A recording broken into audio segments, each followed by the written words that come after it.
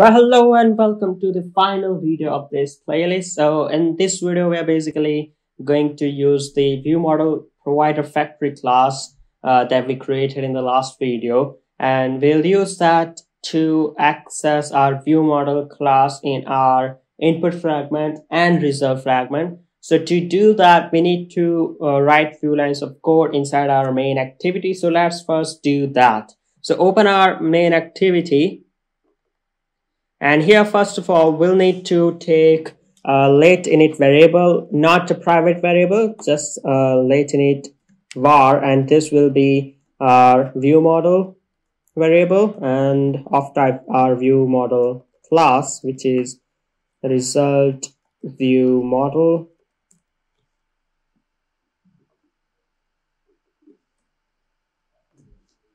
and you need to import that as well so yeah uh, and here in our on create method we'll take uh, our repository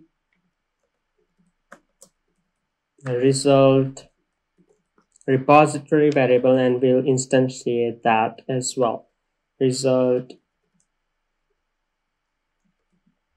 repository and then we'll take the um, instance for the view model provider factory class and I'm gonna name the variable result view model provider factory equals to view model provider factory that we created uh, dot um, may no actually we just need to pass this uh, result repository repository that uh, because we have um, result repository inside uh, our constructor of this class. So we just need to pass that. And then uh, we can now initialize our view model variable that we created. Uh, so view model equals to view model provider dot, uh, um, not dot, and inside the, uh, the parenthesis, we need to pass owner, which will be this, and we need to pass this result view model provider factory variable that we created. And now dot get method and here we can pass result view model class uh, that we have um, result view model. Yeah here it is. Dot double colon class dot java.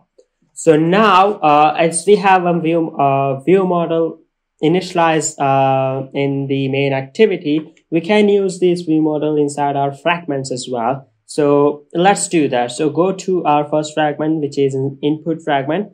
And here we'll need to uh, have a private lateinit var of view model.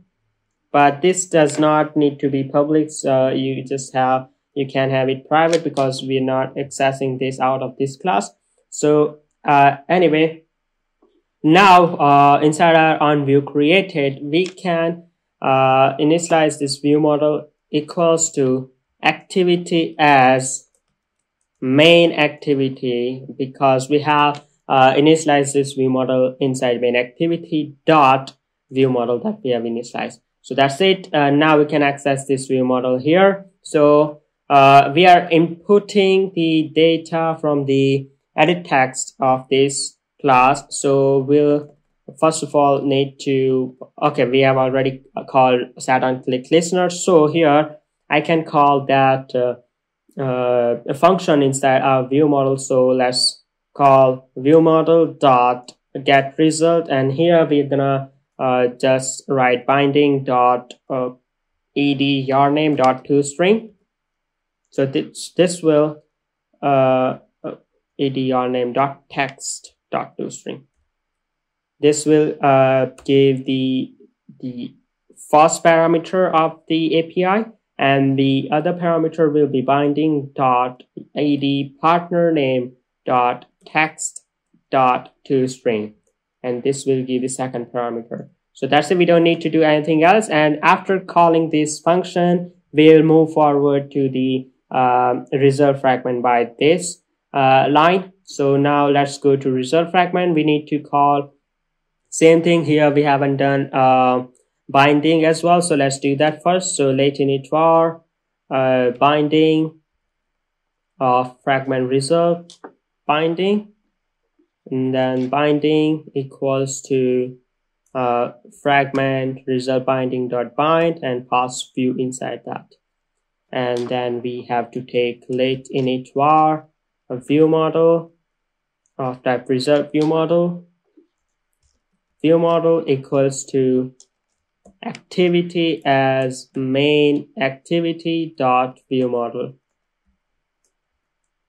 and then view model dot result live data because now we have already called the API and we have stored the response of API inside this live data. So we'll access result live data and we'll observe this and we need to pass lifecycle owner. So for the fragment, lifecycle owner will be view lifecycle owner and we can directly call the anonymous function. And I'm just gonna name it uh, response. And then we can call this binding variable binding dot percentage dot text. Sorry text equals to uh, response dot percentage plus uh, percentage sign. Don't forget that because it will not give you in the result. So add that uh, separately. So now binding dot result dot text equals to response dot result so that's it i didn't think anything is left so we can try running our application so let's run it and see if it is working or not okay so our app is running successfully so let's try calling api so adam Eve, and let's get the result it will take us to this fragment and the application crash. So let's see what happened. Let's go to logcat.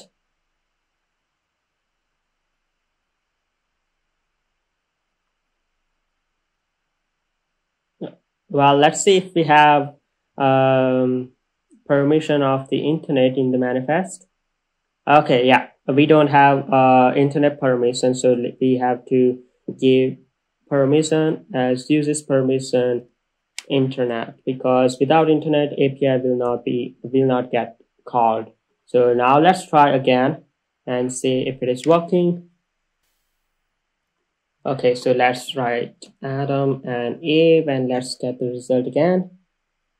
It will take us to this result fragment and that's it. Uh, it's 67% and all the best is the result. So Anyway, this was a small project just to demonstrate how to use uh, MVVM architecture and how to use coroutines with uh, retrofit library and also navigation components, uh, how to use all of them inside an application and how to make an API call. Basically, most important part of this uh, whole uh, playlist was to make an API call and use coroutine and MVVM architecture. So this was the simplest project, uh, and uh, uh, that's it. Uh, I hope you you you enjoyed making this small smallest application ever. So, but this was fun. it's always fun to learn new things, and I'll see you guys in the next playlist. So please subscribe to the channel and press that notification bell. So I have many uh, short projects in my mind that I'm gonna create playlists of. So subscribe and press that notification bell so you get the not notification whenever I post a new video. So I'll see you guys in the next playlist. Uh,